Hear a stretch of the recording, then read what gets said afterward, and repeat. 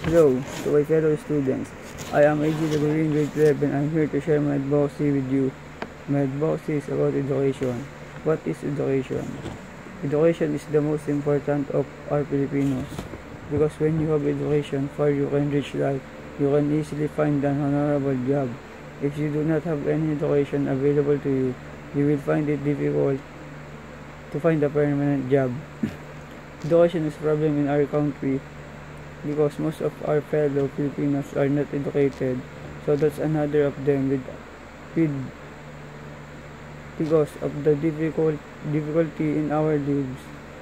There are a lot of people in this room and I know but we honor your work and I want to tell you how proud I am to be this conference with you and I always want to introduce my friend her her works which which by the way is directly related to the work of many of you has to do with how how we can reduce and hopefully someday end violence in homes.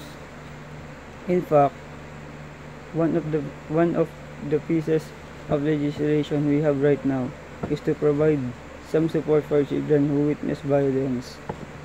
We're always talking about the violence on television, the violence children see in the movies.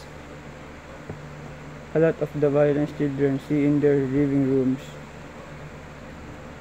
And that affects how well they able to do at school. There is a statistic that about every 30 seconds a woman is battered in her home. You will find as I see what's happen, happening around the country as I see more and more states or more and more school districts have these high takes standardized tests I'm struck by Bob Chase's comparison of all these trends with the movie field of dreams. If we test them, they will they will perform making students accountable for tests for talking about putting and into social promotion is bumper stickers, drawings, politics. I do not believe that in a single multiple choice standardized test to determine whether or not third graders become third graders for education reform.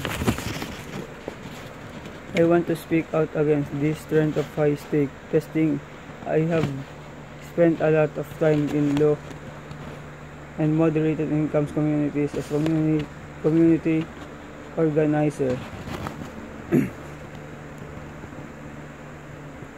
and I hope and I'm hoping I can finish my studies to get my parents back to college because I am a guy who will be home who will be home to my home and I will support my family too.